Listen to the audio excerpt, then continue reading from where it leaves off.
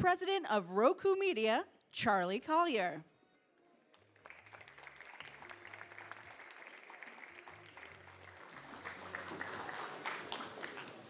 Hey, everyone.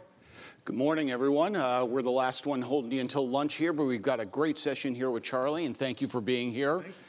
So I want to start with a little bit of a level set as to who you guys are. I think there might be a little bit of a maybe of a misunderstanding. We know a lot of us, I think, know you as a connected D- TV device company, and you're the box That's that not how you know me.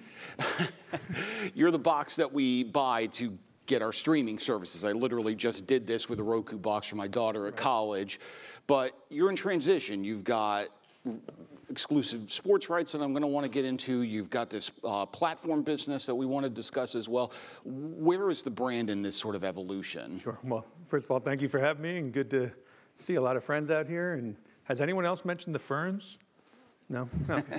Between six ferns. Here we go. Uh, I. Uh, I am first and foremost a believer in content, believer in audiences, believer in fandom, and uh, that's what I'd love to be known for. But Roku, uh, as, as, you said, is, is very well known for being uh, a device company. It, you can get Roku uh, either through a device or we make TVs as well. And it's a complex company.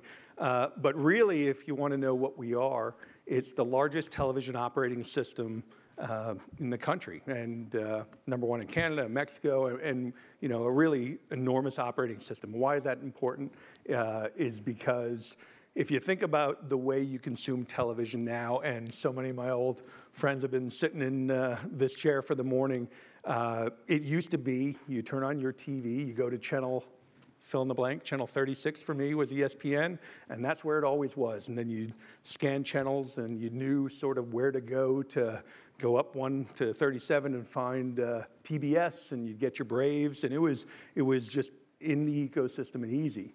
And today, the first thing you do when you turn on your television is you come to our home screen. And think about this, you know, we have basically Super Bowl size audiences coming through the home screen, coming through our front door every day. And so in a world where uh, fragmentation of audience attention, fragmentation of viewership, fragmentation. I mean, the, the gentleman you just heard from has a great product at Ion, and you might go there for your mysteries, and then you might go there for Caitlin Clark, and you have to want to go there, and we're going to help people find women's basketball, which they do so well, and they'll come to our home screen first. We'll help them navigate. We'll make it easy to find it. I'm a I, I know you're a Pittsburgh fan. I'm a Jets fan, so 1 0, 0 1. Uh, it, it is challenging to find your game uh, if you're not in the business.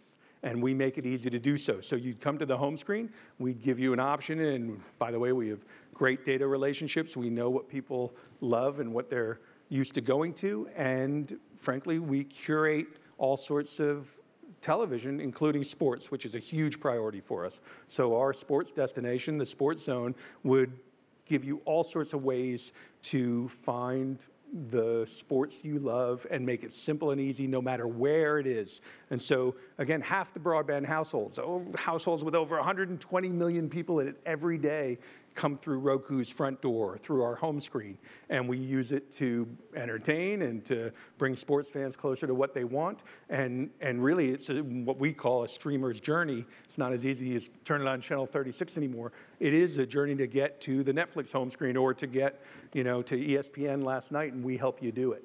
And that opportunity in a world of fragmentation really is distinct, and no one has the scale we do. And uh, and it's really fun. And we also obviously are an investor in sports, believer in sports. And we'll get to that in a moment, but just one more sort of question on that sort of conceptual piece that this notion of the front door of your streaming experience puts you in sort of a unique position where a lot of the companies, including some that we've heard from this morning, in some senses you're partners with them, and we'll talk about NBC yeah. specifically, but in some cases you're competing with them as well, and sort of that dual phase puts you in sort of a unique position. Well, I think it's unique because of our scale, you know, but it's we're all pretty used to co-opetition or, or uh, working with people to elevate their products and also building products of our own. So that is uh, a natural state of play today.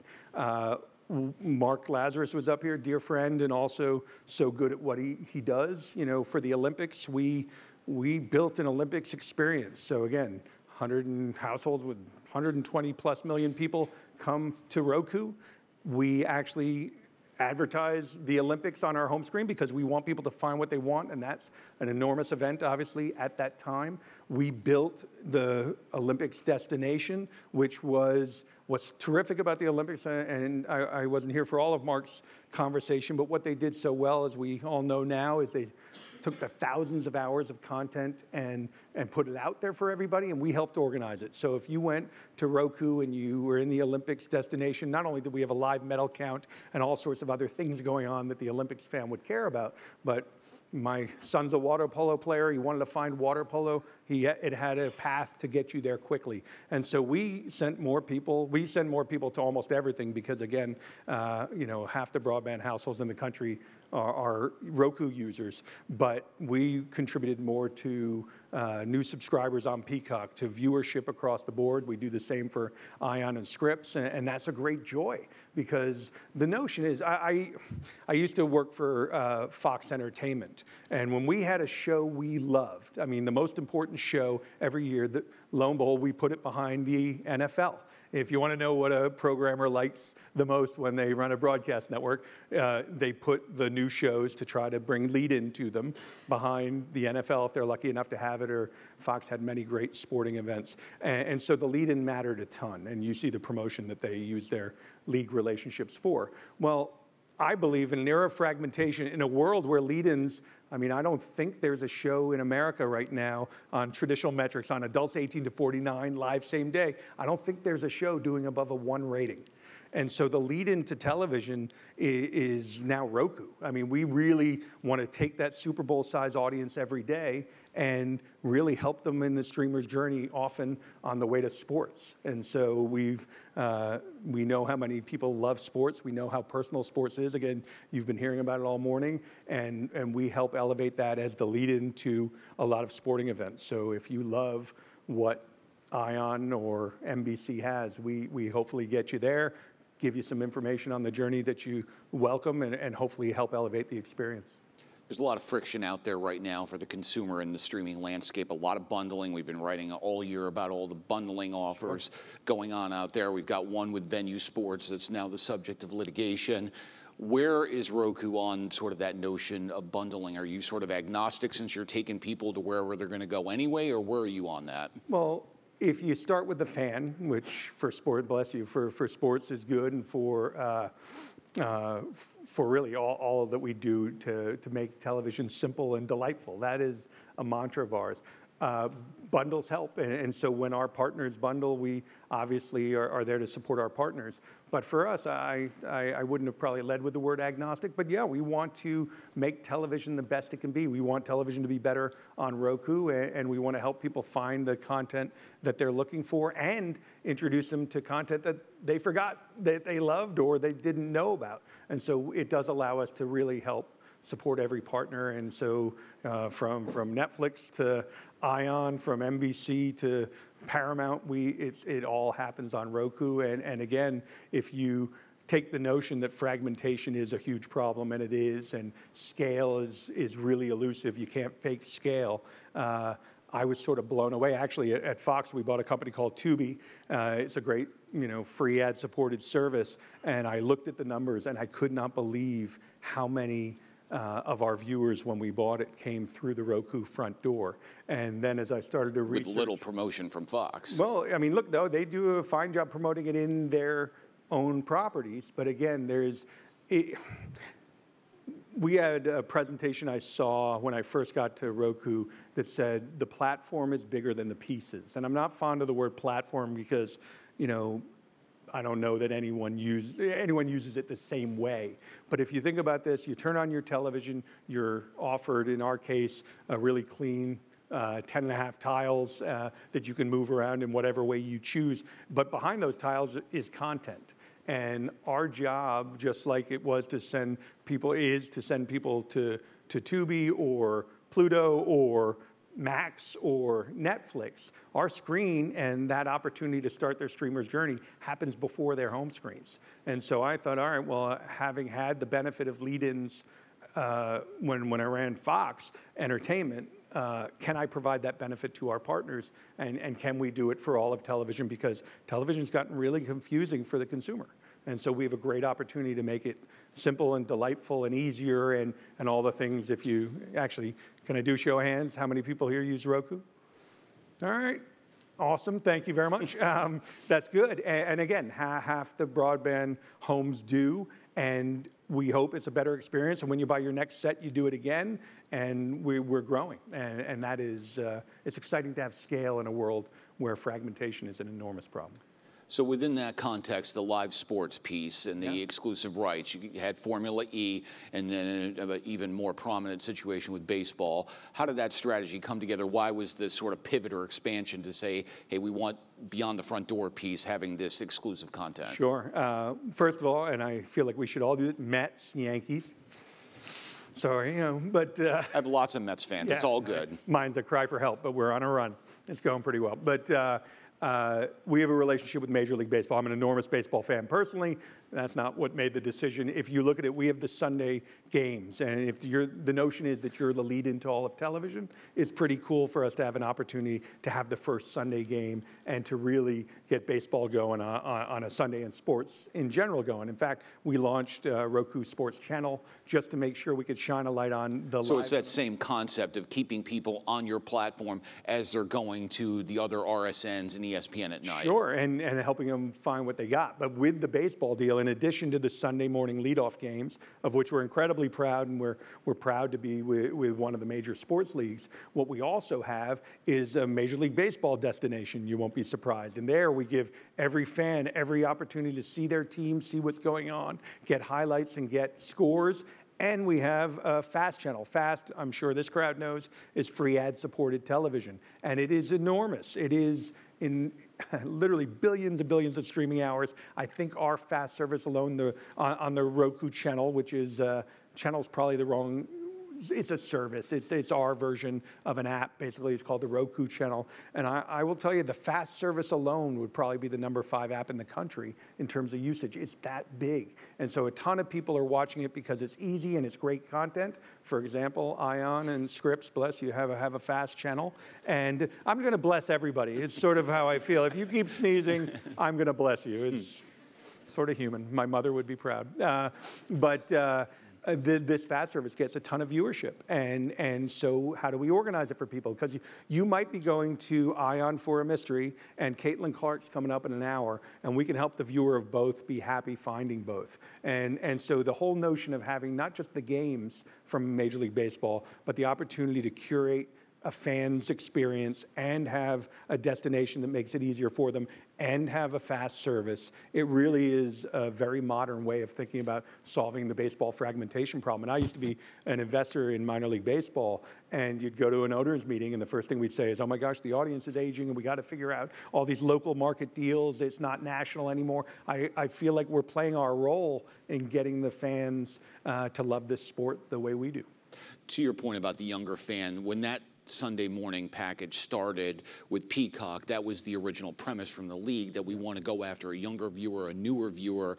What has your research told you in terms of your audience versus what may be going to other broadcasts on other networks? Well, look, I think Roku has a bit of an unfair advantage because it is open and because 120 million people a day roughly come through that front door. So our numbers are, are very solid. And by the way, we want you to see it whether it's on the Roku Sports channel or if it's on MLB.tv. We want to help the fan get wherever they've chosen to watch this event. I mean, you'll you'll watch if you go through Roku. Those of you raise your hand, you'll notice if you have multiple options. If you could watch something on Fubo or if you can watch something on Hulu, we'll send you there. And often we have a service called Premium Subscriptions. Often they'll bring their stuff out from in front of their paywall and put it right next to our free stuff, just to make sure it goes in the flow because there are so many moments of uh, connectivity that allow us to drive an audience from one place to another.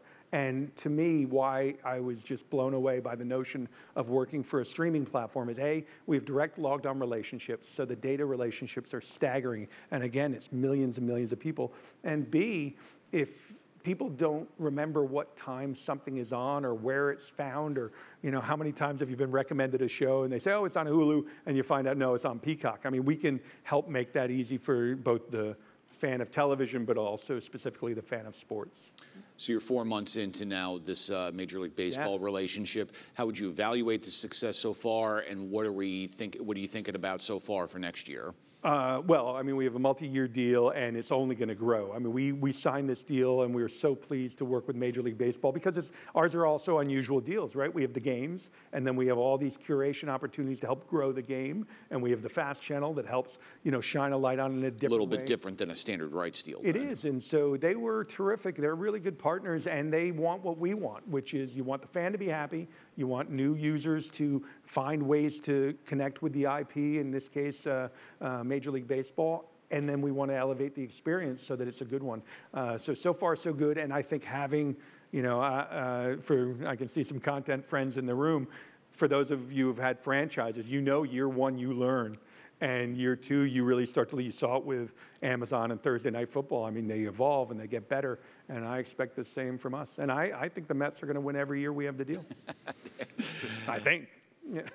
So, of course, then what are you looking at elsewhere in terms of future rights? Uh, assuming this portfolio, you would like it to grow. Well, it's interesting. Again, if you believe the notion of being the lead into all of, by the way, check out his cufflinks.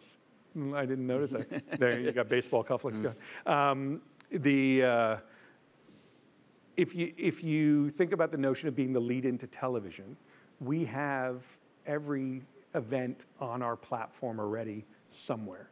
So the Major League Baseball game was really special because it allowed us to have a branded MLB zone and do that, all that I explained. We have an NFL zone. We have a great relationship with them. And I would guess that Roku probably sent more people to ESPN yesterday uh, for the Jets game um, than any other platform, just by sheer size. I mean, I think it, it, it's funny on the East and West Coast because of a marketing culture and because we're in the business and because this, uh, these tend to be high income areas, uh, you have a lot of people who think, oh, Apple and Samsung. In terms of Roku versus Apple TV, Roku is so much bigger in terms of its distribution as a TV operating system that the scale we get to bring really does differentiate. So I look at it and I go, all right, I want to make ESPN more successful. I want to make Peacock more successful. That's one part of our mandate. Is that way your way of saying that you don't need exclusive rights so much then? I, I think what will happen over time, because fragmentation is hard and sports rights are expensive, is that we will work with a lot of people who have big league relationships to make those better. And we will work with the leagues to make sure our curation of that really elevates it. And then when there are rights opportunities, like the Major League Baseball one for us to to play and play appropriately for what we do. We didn't go out to get, you know. Uh, the reported price point was a lot lower than a lot of this stuff is out on the market. I'm assuming, assuming that's a salient factor here. Well, I mean, uh, what we want to do is put the right deals on our platform and elevate our partners' content because they paid a lot of money for it as well. And so the, the trick is to to balance that. So I don't I don't have to. Um, worry about the fans not getting the events. I got to worry about wherever they are, making sure they have an easy and delightful path to them. And then when we have the events, of course, we use it like they do to build lead-ins and to to elevate the the experience in our case for the Roku user. But believe me, when the Olympics were on, if you would walk through the halls of Roku, certainly on the uh, consumer side, you would have thought we owned the Olympics rights. And when uh, and by the way, it'll be the same tonight for the debate, and it'll be the same, which won't it'll be on the Roku channel if you want to watch it there, and you may because our promotion might take you there. But we're thrilled to have you watch it wherever you're most comfortable because, again, we're the lead into that if you change the paradigm and say, how do you get that first screen to be really powerful? So for you to do another rights deal, exclusive rights deal, it's got to have these other attributes. Then. Well, I want to be able to curate it in the way that the platform allows us to. So it's funny, uh, my history in cable was very much uh, and for many people in cable, one show could change your life.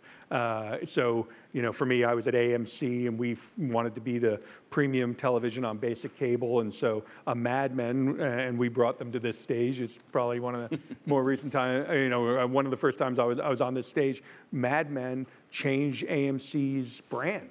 But when you're only scheduling 24 hours in a day on linear, you know your mornings are probably syndicated repeats, your afternoons start to build into early fringe, and then you might start to really curate. And by nine o'clock for us, we were airing a movie that would set up the 10 o'clock new hour. And if you got Mad Men, or if you got South Park on Comedy Central, or if you got, you know, the closer on TNT, that became your brand, one show.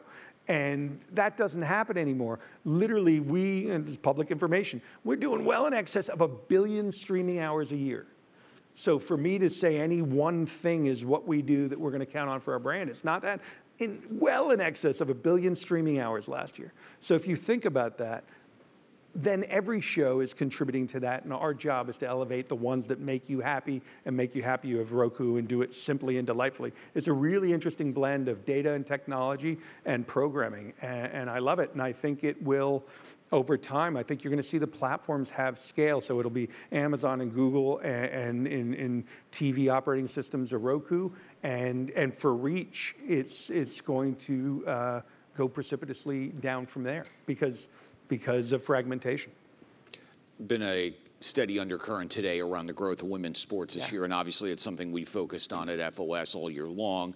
Where has Roku been in that growth wave, and where do you see that going? Well, it's terrific, and and and you can see it in the numbers. Obviously, uh, you've heard about it a lot this morning, so uh, I won't go to detail on that front. But a perfect example, again, Scripps and Ion had all the. You know, I think they had nine of eleven of the first Caitlin Clark games. And again, you probably wouldn't have because the world is fragmented so much. Maybe you would have because you're in the business, but the common viewer looking for A'ja Wilson or looking for the big rivalries probably wouldn't have said, oh, I'm running to Ion for it. And so we have a women's sports destination. We curate there. We've done it now. Actually, it was one of the first destinations we had. And what you could really see is that you could make it easy for people to find what they were clamoring for. And those who invested early obviously have done very well. And, and I, I think it's just going to continue to ascend. I was watching the US Open, I'm sure as many of you did as a fan, and, and I've never seen. Um, I've never seen the, the community rise in, in such a powerful way to talk about um, women's sports. Uh, not just in tennis, but they too were talking about the power of women's sports across all platforms. You know, and Billie Jean King obviously was at the forefront of all of this. But what was remarkable is they were promoting women's sports across non uh, ESPN properties in, in such an interesting way. And then, you, you know, we come to a lot of these panels, and I, have been on panels with Mark before, and it's just terrific that actually we, it's just sports, and it's just another, you know, type of sports that we can promote to, and we've been doing it with our partners in really cool ways for women's sports in general. Yeah. So we've been talking a lot about sort of navigating this disruption, and there's still a lot out there. We've yeah. got linear households falling precipitously. Mm-hmm. A lot of the streaming networks that we've mentioned have yet to be consistently profitable. Where do you see this business going at a macro scale, say three, five years down the road? Look, I I do believe that. They're, they're going to be they're going to be winners and losers, and I do believe that there'll be consolidation uh, over time because uh, uh, you've got to marry scale to these investments. And and so for us, you know, uh, rather than picking winners and losers, our job is to make sure uh, that when our partners come to us, we help provide that scale, and I think it'll matter a lot. I I think it is. Um, been a pretty profound shift to watch the growth at all costs, which was, you know, a couple years ago where, where obviously growth was bigger than profits, shift to find me profitability. Yep. And that is if you're stuck in the mushy middle when that shoe drops, you're watching that it's not so hard to uh, change your behavior based on uh, an instant change in what you're rewarded for. So you're seeing the, the response to a lot of folks who uh, growth was an unequivocal good. And I remember from business school, my finance professor wrote on uh, the board day one, he wrote, growth is not an unequivocal good. You've got to manage your growth and you've got to deliver profits and you've got to remember the cash matters. And for a while there, uh, I think our industry forgot that growth is not an unequivocal good, you know. Well, to that end, you're a publicly traded company, and uh, you know, try you know, nuance is often lost on the street. And as you, you know, a lot of the stuff that we're talking about is complicated and takes a long time, certainly a lot longer than 90 days to play itself out.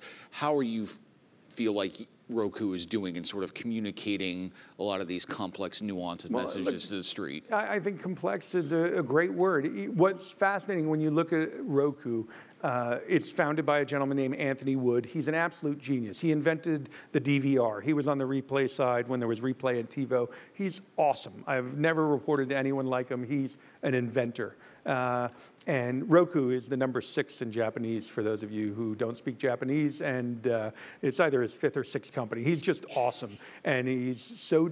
Uh, he's created a really complex company because we're a great device company. We are a great television company. They manufacture televisions. The remote, if you have the Roku remote, is the most simple, delightful, easy to use. You can use it without looking at it remote I've ever seen. And that was all by design from him and this remarkable engineering team, thousands and thousands of engineers. So you can't fake that. You can't fake engineering.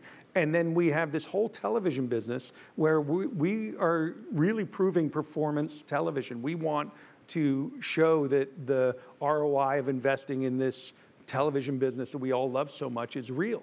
But that's a whole different set of analysts than cover devices or software or hardware. And so it is a long term, consistent journey to say, here's who we are, here's what we do. And it is complex, but it makes a ton of sense to bring the right brain and the left brain together, creative and engineering, and also bring together uh, a thriving tech company with, with you know, a company that loves television as much as any I've ever worked for. So it's, uh, it's a long road, but I, I think we're doing great.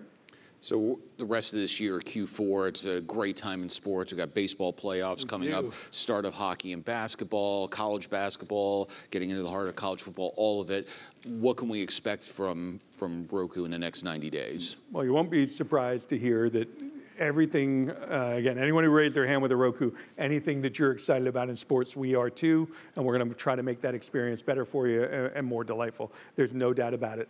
Our first season of baseball wrapping up and heading into the playoffs feels just terrific to be in the conversation. But again, not just the games, the curation, the fast service, the, the way we make make the viewer know. And you'll do the whip about- around thing and all of that because you won't have the Sunday morning coming right. playoffs, but you'll do all this other ancillary Oh, sure. content. Look, we want to, the Olympics is so easy to explain because it's a two week event. It's obviously so many different events, and we made it simple to navigate there. But we want to do that for everything. You ask about women's sports, sure, we want to take you there. And the more we know about what you like, we're going to make it a better experience for you. And for baseball, look, I, I think baseball's awesome. I, I just love it. Uh, but you know, you know your local team, and even that. I mean, uh, uh, as a Mets fan, I can go to SNY, I can go to MLB.TV. Uh, maybe if they're on Sunday morning, you find them on Roku channel. That is really confusing for the non-industry person, and we're going to make it simple and help organize TV and uh, be the lead into these events. So